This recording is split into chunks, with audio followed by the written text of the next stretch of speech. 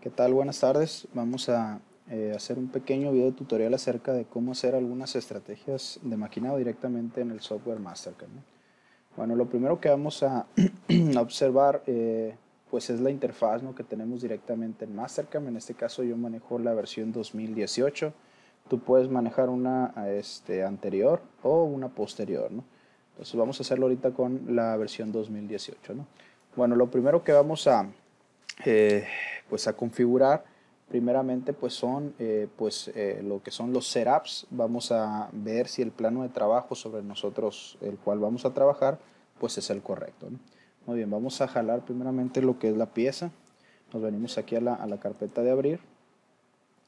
Le damos este, en abrir. Algo muy importante es observar aquí lo que son los archivos. Si tú buscas un archivo, por ejemplo, que esté en el formato de SolidWorks, eh, no lo vas a poder abrir si no le cambias la, extensión del mismo archivo. Aquí voy a este, observar lo que son eh, lo que son los archivos que yo tengo. En este caso es un archivo efectivamente en SolidWorks, entonces cambio lo que es la extensión, le voy a poner a todos los archivos para que me encuentre todos los archivos. Vamos a empezar con este ejercicio número 1. El ejercicio número 1, le damos a abrir, doble clic o clic, eh, un clic y le das en abrir. Vamos a esperar a que cargue un poco. Aquí está. Hay que tener un poco de paciencia ya que consume este, pues bastantes recursos, eh, al igual que el, mismo software SolidWorks. Entonces, podemos este, pues girar lo que es la pieza con lo que es el scroll del mouse, es decir, la, rueda que está en el centro, y con las flechas de orientación del teclado le podemos dar este, izquierda, derecha, este, arriba o abajo. Entonces aquí este, lo vamos a mover. Lo primero que tenemos que visualizar es que el eje de coordenadas sea el correcto, es decir, que este eje que está aquí está como nosotros querramos que, que esté. Es decir, este eje que está aquí tiene que ser el eje X, este eje que está vertical tiene que ser el eje Y y este que está aquí atravesando lo que es la pieza tiene que ser el eje Y. Entonces aquí vemos u observamos que está este, incorrectamente, ¿no? es decir, no está alineado. Este, lo primero que tenemos que hacer es alinearlo. ¿Cómo lo vamos a alinear? Bueno, vamos a ver si nosotros la alineamos de esta manera. Observamos aquí abajo que el Z es este eje que tenemos aquí. El Z queremos que quede vertical. Entonces lo que yo tengo es que hacer es agarrar la pieza y ponerla vertical de tal manera que esta cara quede apuntando hacia este eje. Muy bien, ¿cómo lo hacemos? Nos vamos a ir aquí a la pestaña a la pestaña primeramente de Transform y le vamos a dar eh, la opción esta que dice Dynamic. Ojo, si no te aparecen lo que son los ejes, los podemos activar directamente en la pestaña de View aquí donde dice Show Access o mostrar ejes. Yo los puedo activar o desactivar. Bueno, nos vamos entonces a Transform, le damos en Dynamic, le damos Dynamic, vamos a esperar un poco que cargue. podemos darle un clic a la pieza para que se seleccione o la podemos envolver en un cuadro de selección y también este, pues nos las va a seleccionar. Cualquiera de las dos opciones. Se pone seleccionada, le pones finalizar selección y te va a aparecer lo que es este sistema de coordenadas. Eh, por comodidad, te sugiero que lo pongas en la parte de la esquina, en cualquier esquina, yo siempre manejo la, esquina inferior este, izquierda, ya que lo tienes este, colocado en la esquina, vas a rotar la pieza o la vas a girar este, hacia lo que es el eje que tú lo requieras. En este caso, este es el Z, yo quiero que el Z quede aquí, entonces la pieza la giro y la pongo este, vertical la voy a agarrar desde aquí y la voy a empezar a girar. Entonces, eh, para que lo hagas de una manera siempre estándar, puedes escribir el ángulo que tú quieres de giro, por ejemplo 90, y se va a poner vertical. Le vuelves a dar otro Enter, ya que le diste el Enter, le das aceptar. Y ahí está. Si te fijas, la pieza en este caso se puso vertical, giramos un poco, Vamos a orientarla correctamente, más o menos así. Vamos a ponerla, acomodarla y nos damos cuenta que ahora sí el eje está como yo quiero. Este es el X, este es el Y y vertical va a estar el Z, ¿no? Muy bien. Ahora, ya hicimos la orientación. Cabe destacar que no todas las piezas vas a tener que orientarlas. La mayoría de las piezas vienen orientadas correctamente. Esto es por si tu pieza no viene orientada. ¿no? Es, es, nada más que lo tengas muy claro para que no se te vaya a pasar. Muy bien, bueno. Ahora, ya orienté la pieza. Eh, lo que sigue es eh, realizar lo que es el setup este, de lo que es la pieza. Eh, el setup, por comodidad, siempre lo vamos a poner en este lado. Es decir, este, esta intersección de estos ejes los vamos a acomodar en esta sección de aquí. ¿Cómo lo hacemos? Bueno, primeramente vamos a definir con qué tipo de máquina queremos trabajar. En este caso, vamos a seleccionar lo que es una fresadora. ¿no? Nos vamos a la pestaña de Machine. Nos vamos a la máquina con la cual nosotros querramos trabajar. Aquí hay diversas máquinas, este, fresadoras, tornos, fresa torno, este, electroresonadora, etc. Bueno, entonces este, le vamos a dar una fresadora, le vamos a dar una fresadora por default que ya esto posteriormente pues a la máquina que nosotros querramos eh, correr pues vamos a tener que darle eh, lo que es el postprocesado especial de cada máquina, ¿no? de cada controlador.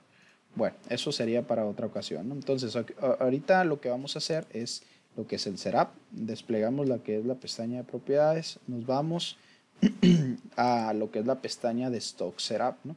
Aquí está. ¿no? Eh, normalmente configuras algunas cosas. Yo en lo particular empiezo este, de aquí, de lo que es el Tool Settings, y pongo, por ejemplo, activo estas tres casillas, por ejemplo, que son asignar las eh, herramientas secuencialmente, eh, lanzarme alarmas de herramientas duplicadas y usar lo que es el, lo que es el paso, el picoteo y el refrigerante este, de acuerdo a lo que es la herramienta. ¿no? Ya si quisiéramos ponernos un poquito más, este, eh, pues más activos, pudiéramos eh, editar lo que es el material, poner el aluminio o el acero que nosotros vayamos a, manejar, etc.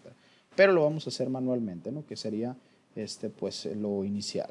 Entonces nos vamos a la pestaña de Stock Setup y le vamos a dar, por ejemplo, eh, a definir lo que es el stock. El stock de material es básicamente la pieza en bruto en la cual tú vas a empezar a trabajar. Este es un bloque de material que no va a estar maquinado, es decir, va a estar este, listo para maquinar, pero habrá que hacerle lo que son las geometrías que tenemos aquí. Entonces, lo primero que vamos a hacer es darle lo que es la opción Bounding Box o cuadro desplegante, no sé cómo está en la versión de español. Seleccionamos la pieza, ya sea por selección o le hacemos un clic, ¿no? como tú lo requieras. Le pones finalizar selección, te va a aparecer lo que es el stock de esta manera, es decir, todo esto va a ser tu material sobre el, que el cual vas a maquinar y en la parte de abajo vas a activar lo que son los corner points. ¿no? Estos corner points o puntos de esquina nos van a servir cuando las piezas sean, este, tengan un redondeo quizás en la esquina eh, para el uso y selección de estrategias, nosotros nos vamos a apoyar con esos puntos. En este caso, a lo mejor no es necesario, pero yo te recomiendo que desde una este, vez, pues lo tengas la costumbre de activarlo, ¿no? Es mucho más cómodo. Bueno, entonces los activamos. Otra cosa, si yo quisiera agregar extra material para maquinar, para, en este caso, dar alguna pasada de desbaste, yo lo puedo hacer directamente en estos puntos. Aquí me dice size, aquí me dice que si lo aplico en el medio, la geometría o bueno, el, el extra material que yo le dé, pues va a crecer hacia ambos lados. ¿no? Si yo quisiera solamente de un lado, pues selecciono el lado que yo requiero y ya va a crecer. Como por ejemplo aquí, en vez de 100 le voy a poner 150 para que veas y ya te da un extra material. ¿no? Entonces, así sucesivamente en cada, en cada eje, si lo quisieras. Sale, entonces hay 150, 150, etc. Bueno, esto es solamente para cuando se requieran. En este caso lo vamos a dejar tal cual. ¿no? Bueno, así está. Entonces, una vez activado lo que son los corner points, le damos a aceptar. ¿no? Ahí está. Muy bien, le voy a dar a aceptar otra vez y ahí se este, define lo que es el stock. Recuerda, el stock es el material sobre el cual vas a trabajar. Ahora, vamos a definir eh, lo que es el setup. El setup es estos ejes, los vamos a pasar aquí a la esquina. ¿Para qué? Pues porque va a ser eh, el 0 pieza o el cero que va a tomar nuestra máquina para empezar a maquinar. Nos vamos a ir a otra vez la pestaña de Transform y le vamos a dar a donde dice mover al origen. Voy a mover este que es el origen, lo voy a mover hacia este punto. Entonces le voy a poner mover al origen, me pide selecciona el punto para trasladar al origen, le voy a seleccionar ese punto. Eh, yo por comodidad, este, pues me acerco lo más que se pueda para tener seguridad que ese punto se fue directamente al origen. ¿Cómo puedo ver? Pues si te fijas, el eje de intersección está directamente en esta esquina. Se movió lo que es el, stock de material, pero ahorita lo vamos a arreglar. Entonces, eh, nos volvemos para arreglar el stock y que todo esté bien. Le damos en Stock Setup otra vez. Y ahora en vez de darle en Bonding Box, le voy a dar en All Entities o todas las entidades. Te fijas aquí la geometría se pone, es un, es un cuadrado de 100% y 30 de espesor en Z. Ya le dimos All Entities y le damos a aceptar de nuevo. Una vez que este, pues ya se le dio lo que es eh, el aceptar, si te fijas aquí, ya traspasamos o ya pasamos lo que es el setup directamente a la esquina inferior izquierda de nuestra pieza si es que la miramos de esta manera. Entonces nuestra pieza ya está lista para maquinar y nuestro setup también está como nosotros este, queríamos que estuviera. Entonces eso sería todo por esta sesión, eh, eh, definiendo solamente lo que es el stock, el setup y alineando lo que es la pieza cuando está desalineada. Nos vemos.